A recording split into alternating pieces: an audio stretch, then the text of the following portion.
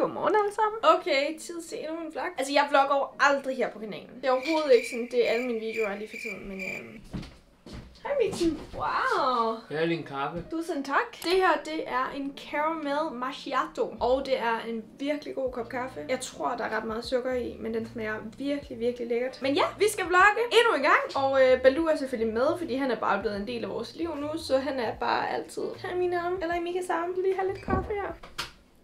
Godmorgen. Godmorgen. Hvilken kaffe har du lavet? Jeg har lavet en øh, kaffe latte fra brandet Gimoka, og man kan jo sige, at Gimoka brandet er et lidt billigere brand, men man kan så derimod også sige, at det bliver en lidt dårligere kaffe. Jeg kan godt lide kaffe, som ikke smager sådan alt for meget kaffe. Jeg kan godt lide kaffe med masser af mælk i. Ej, jeg skal lige forklare noget. To sekunder.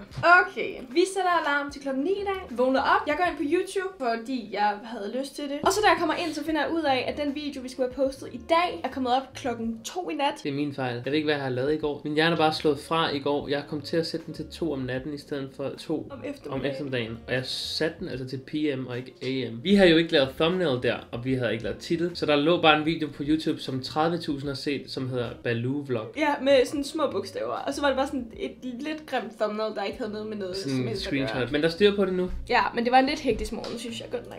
Okay, vi skal lige til at have et lille telefonmøde her. Det var bare det. Timelapse begynder. Mika, han er i fuld gang med at lave mad til os. Hvad laver du? Altså, hvad laver du af mad? Spejlæg ovenpå ristede boller. Øh, nej. Boller, avocado, ristet spejlæg. Nej, ja. Nej, ristede boller. Det var ikke engang med vilje, det der. Ristede boller med avocado og spejlæg, det var det. Lækkert. Baloo, han vil meget gerne ud. Du kan komme ud lige bagefter, jeg har spist min mad. Okay, Baloo? Altså, Baloo, han elsker det her stykke pap. Prøv at se. Er det bare så lækkert at spise pap, var Baloo? Nå. En lille mus. Overvej lige en lækker morgenmad, Mika har lavet til os her. Baloo er meget interesseret. Nej, nej, Baloo. Det er ikke til dig. Du kan få Jeg er pap. blevet morgenmadskok. Hvad siger du? Jeg er blevet morgenmadskok. Morgenmadskok. Baloo skal lige ud og have muligheden for at tisse her. Og der er seriøst politibil der. Jeg ved ikke, om I kan se det. Eller sådan en vogn. Og det er simpelthen, fordi vi havde en øh, bombetrussel i forgårs eller sådan noget. Sådan her omkring vores lejlighedsområde. Jeg kan lige gå ind og fortælle lidt mere om det lige om lidt. Okay, jeg tænkte lige, jeg ville uddybe det, jeg lige sådan begyndte på udenfor. I forgårs, der var nemlig sådan en mistænksom kasse, som stod sådan måske 100 meter fra vores lejlighed. Og øh, der er ret mange lejlighedskomplekser her omkring, så der bor rigtig, rigtig mange mennesker. Jeg tror, at den stod lige ved siden af en bil, eller om den var monteret på en bil, eller et eller andet i den retning. I så fald, så øh, var vi bare i lejligheden. Mikas forældre og familie kom øh, forbi med Mikas computer. Han har købt en ny computer. Og Mikas familie har så også lige fået en hund, som de så også lige vil overraske os med. Den er by the way super cute, den malteser, og den er sådan 8 dage yngre end Baloo. Men ja, så de var faktisk lige et kort smut forbi, og så lige pludselig er der bare sygt meget politi ude foran vores lejlighed. Og så er der lige pludselig spærret af, og øh, Mikas familie går sådan ud og spørger, om de kan få lov til at køre hjem. Og det kan så ikke lade sig gøre, de er bare spærret helt af, og man kan slet ikke komme ud med deres bil eller noget som helst. Så de øh, bliver nødt til bare at blive hos os. Og så prøver vi selvfølgelig at finde ud af, hvad sådan, der sker. Vi læser nyheder og sådan nogle ting. Og så kan vi så se, at øh, det nemlig er den her mistænksomme ting, sådan en papkasse i sådan en pose. Og de er så bange for, at der er noget springstof i. Og det ser også virkelig mærkeligt ud. I kan lige se et billede af den her. Og så læser vi også lige pludselig, at øh, folk begynder at blive evakueret. Dem, der er sådan tættest på den der mistænksomme øh, objekt. Og så lige pludselig så står der bare en politimand og banker på vores dør og sådan, kan I lige komme herud om to minutter? Tag noget varmt tøj på. Og vi var bare sådan, shit. Men vi tager varmt tøj på og tager også lige et par trøjer på hundene. Så bliver vi ført af politiet hen til øh, en kantine, hvor vi kan sidde i. Og vi tænkte måske sådan, der skal måske sidde i sådan en lille time eller et par timer. Og det ender så med, at vi, øh, vi sidder der i 8 timer i alt. Jeg tror, vi var derhenne sådan klokken halv seks, seks om aftenen og øh, tog hjem klokken 2 om natten. Og så fandt de så ud af, at der var sprængstof i den der, og det var så en bilbombe, tror jeg. Og det var så monteret på en 53-årig mands bil, som vist nok var sådan en gammel bandemedlem eller et eller andet. Men ja, politiet sådan skød så mod den der papkasse, og så sprang det så i luften, det der var inde i. Og så skulle de så lige med politihunden rundt og søge, om der var flere af de der bomber og sådan noget. Ej, det var sindssygt jo.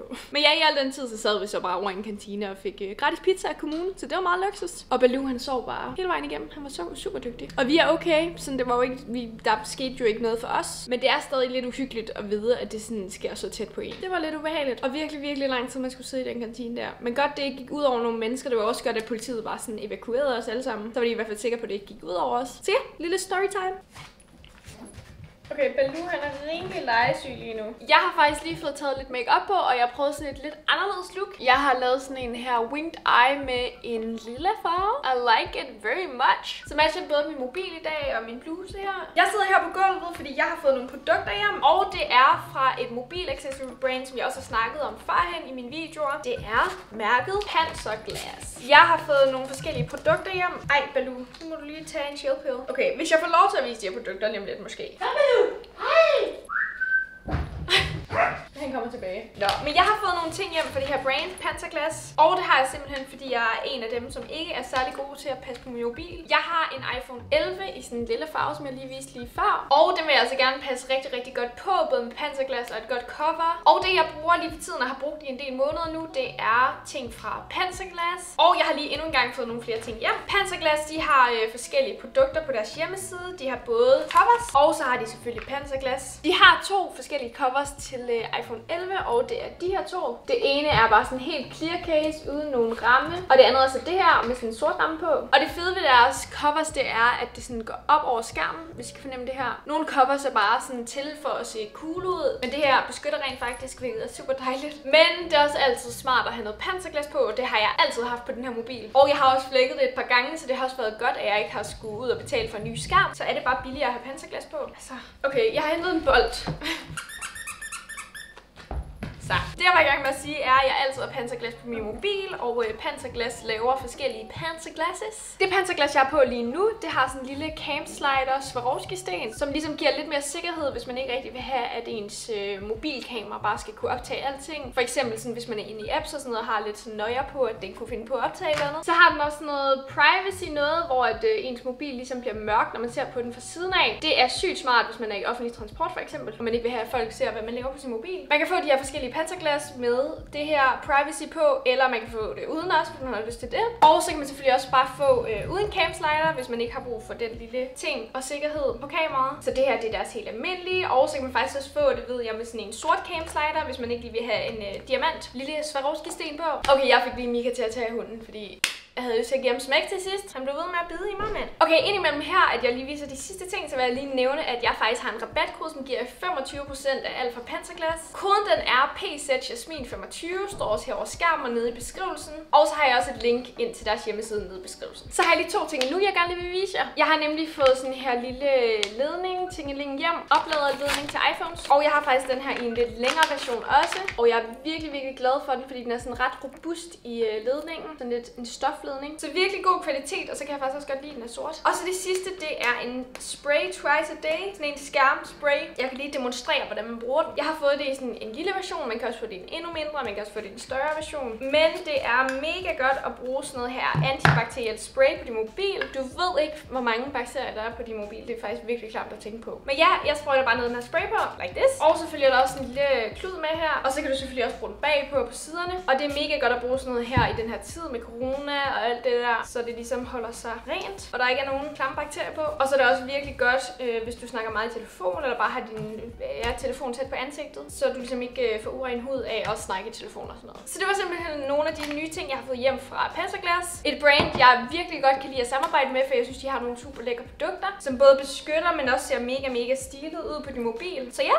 det var øh, et lille mini haul. Husk at bruge rabatkoden PZJasmin25 for 25% af. Og som I nok kan fornemme, så er Baloo virkelig meget legehumør, så jeg tænker altså lige, at vi skal lege lidt med ham. Baloo, skal du vise tricks, hva'? Skal du vise, hvad du kan? Sit!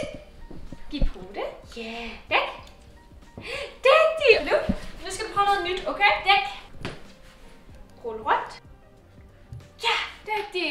Næsten. Ej. Næsten. Det er sådan, man lærer dem det. Det er sådan, man lærer dem det. Skal vi lige prøve en søge? Baloo? Søge? Altså, hvad filen? Søge? Du kan da ikke bare kaste og sige søge. Søge? Nej. Søge? Søge? Ej, hvor er det dygtig. Der er en til. Søge? Søge? Ja! Hvor er du dygtig! Okay, jeg har lige fundet uh, stativet frem med min mobil på, fordi jeg har fundet en TikTok, jeg gerne lige vil lave med Balusken. Så øhm, I får lige lov til at se mig lave den. Sover du seriøst lige nu? Okay, han sover lige nu. Ej, han sover ikke helt, tror jeg. Og så prøver jeg lige TikTok ind her bagefter. Men vi skal lige lave den først. Er vi klar, var Baloo?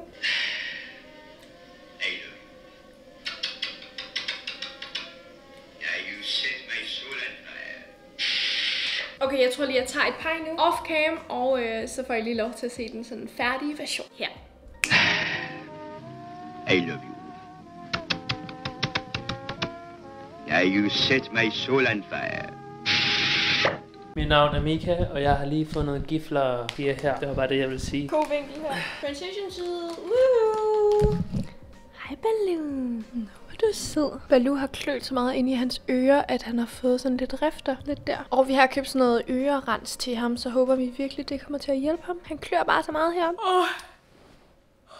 Jeg tror ikke, I fatter, hvor træt jeg er. Klokken er blevet 6. Vi skal til at have noget pizza. Vi har nogle rester. Og jeg både fryser, og jeg er træt. Jeg ved ikke lige helt, hvor det kom fra. Det kom bare sådan der. Mika og Baloo er lige ude og gå en lille tur. Så håber vi lige, Baloo kan lidt af. Og så tror jeg bare, at vi tager en ret chill aften i dag. Vi havde en ret arbejdsrig aften i går nemlig, så sådan, selvom det faktisk er mandag i dag, så tror jeg lige, vi prøver at slappe lidt af. Men det er også meget normalt egentlig at slappe af om aftenen. Vi er bare også vant til at arbejde nogle gange om aftenen. Men øh, ja, så det bliver nok en ret chill aften i aften. Med noget pizza, noget serie, måske en film. Øh, ja, en lille update herfra. Jeg kan ikke huske, hvad jeg filmede sidste gang.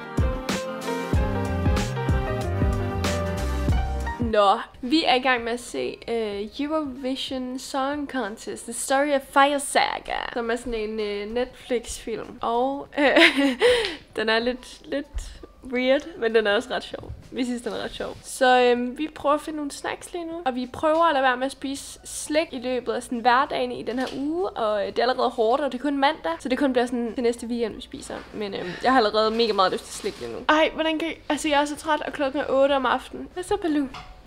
Han ligger bare og sover. Vi har nu set film færdig. Ej, dit hår, Mika. Seriøst. Baloo? Hej du. Baloo, han er lige ude og gå en lille aftentur. Ikke også? Skal lige tisse lidt af? Hoj, hoj, hoj. Din lille snuske, din lille snuske. Okay, det sjoveste skete lige før. Det var, at Baloo sad fast i Mikas trøje og sådan fløj op. I skal lige se klippet her.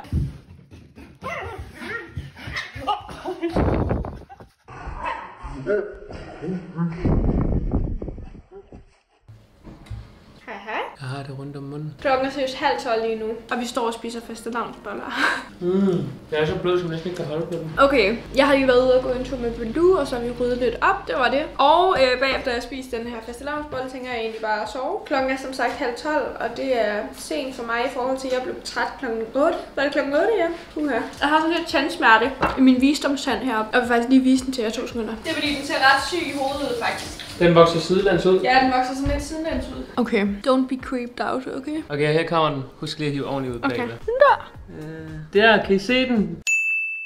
Mm. Den vokser ud sidelands. Det er sådan rigtig uhyggeligt, føler jeg. Men ja, jeg har i hvert fald ondt i den tand. Jeg ved ikke, om der er noget betændt eller irritation inde ved den. Men ja, tak til jer alle sammen for at se med i endnu en vlog med os. Håber, I har synes, det var hyggeligt endnu en gang, og øhm, håber, I har lyst til at se med i mine næste videoer. Hvis I har lyst til det, så kan I selvfølgelig gå ned og abonnere, og husk også at abonnere til vores Chess og Mika kanal. Ha' det godt, indtil vi ses lige om lidt igen.